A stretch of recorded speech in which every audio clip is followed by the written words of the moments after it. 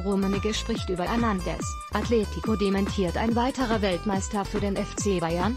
Laut der spanischen Zeitung Marca will der Rekordmeister im Winter Lucas Hernandez, 22, Vertrag bis 2024, von Atletico Madrid verpflichten. Für den französischen Abwehrspieler werden demnach 80 Millionen Euro fällig. Bayern soll eine Ausstiegsklausel ziehen, heißt es, Hernandez dann in München einen Vierjahresvertrag unterschreiben.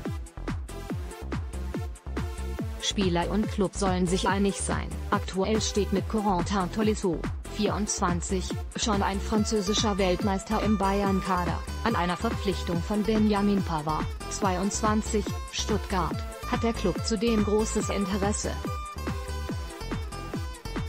Bayern-Boss Karl-Heinz Rummenigge äußerte sich nach dem Sieg der Münchner gegen Leipzig vielsagend, ich kann nichts dementieren, ich kann auch nichts bestätigen. Bestätigen kann man erst etwas, wenn es fix ist, aber fix ist noch nichts. Und weiter, jetzt warten wir mal ab. In Spanien gibt es ja immer eine Ausstiegklausel zu allen Zeitpunkten, und das ist in diesem Fall sicherlich ein Vorteil. Ein klares Dementi klingt anders. Atletico Madrid gab dagegen eine Pressemitteilung heraus. Darin heißt es, dass es keine Einigung zwischen den Münchnern und Hernandez gebe und der Spieler den Verein keinesfalls verlassen wolle.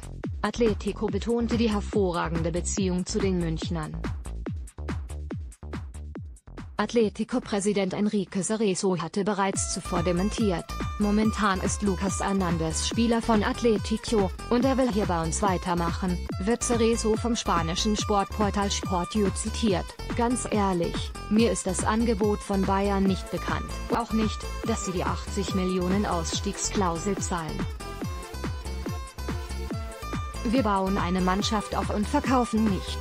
Sportdirektor Hassan Salihamidzic, 41, hatte nach dem 3:3 in der Champions League gegen Ajax angekündigt, klar, der Wintertransfermarkt ist limitiert, es ist schwierig, aber wir haben unsere Augen offen und werden sicher versuchen, etwas zu machen.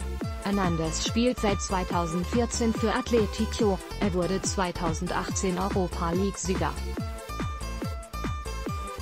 Im Finale der WM in Russland im Sommer spielte er gegen Kroatien, 4 zu 2, über 90 Minuten. Sollte der Deal wirklich so wie von Marca verkündet über die Bühne gehen, wäre es der bisher teuerste Einkauf der Bundesliga-Geschichte. Bislang liegt die Rekordmarke bei Julian Draxler, für den der VfL Wolfsburg 2015 inklusive Boni 43 Millionen Euro an Schalken 04 überwies.